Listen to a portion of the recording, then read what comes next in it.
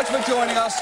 Lots to get through this week, so let's quickly begin with the Olympics. Home of sports like stupid tiny tennis, inconvenient frisbee, and whatever the fuck this is. Now, these games have been full of thrilling performances, from Simone Biles uh, to Usain Bolt to the horse that danced around to Smooth by Santana and Rob Thomas.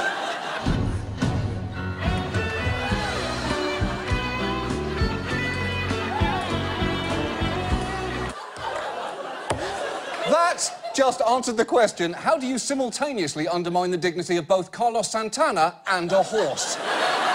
But, but, there were also controversies this year, from the presence of the Russian team in the wake of their doping scandal, uh, to an IOC official being arrested for alleged ticket scalping, to the international saga of Ryan Lochte, a swimmer who looks like he's about to play the John Slattery role in a porn parody of Mad Men. now, Lochte made headlines this week by claiming he and three other swimmers had been robbed at gunpoint, and then made headlines again once witnesses, backed up by security cam footage from a gas station, revealed the swimmers had actually been confronted by a security guard after they broke a soap dispenser in the bathroom, damaged a door, tore down a sign, and urinated around the premises. and spare a thought there for the soap dispenser. Seriously? I was already a gas station's men's room soap dispenser. My life was shitty enough, and now I'm being vandalised by if Sting was a jock.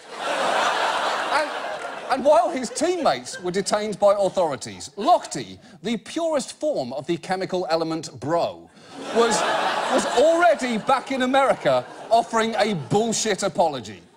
Lochte posting on social media, quote, I want to apologise for my behaviour last weekend and for not being more careful and candid in how I described the events that early morning. There is no way he wrote that. I'm pretty sure that Ryan Lochte thinks Game of Thrones took place in the late 1800s and still doesn't understand how mirrors work. Dude, stop copying me. I'll stop when you stop, bro. And look, people are right to be angry here because Lochte's behaviour wasn't just shitty and entitled. He's also ruined himself for us. Four years ago, he was America's favourite sweet, dumb merman who claimed to have designed his own shoes and described the process like this. These are my shoes that I designed from top to the very sole to the very top to the bottom, no, laces. He couldn't remember all the parts of a shoe. And he was standing next to hundreds of shoes. And look, the fact that Lochte is a total arsehole is now not remotely surprising. It's just that it makes him a lot less fun now. So as we say goodbye to the Rio Olympics, sadly, we must also say farewell to one of America's favourite idiots.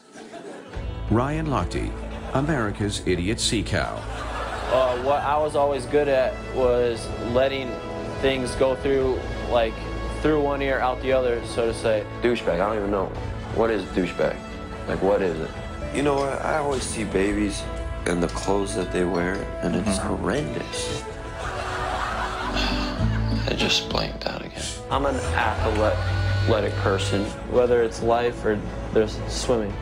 Um, always do your best. I swear, I think I'm like the only swimmer in the world that cannot float.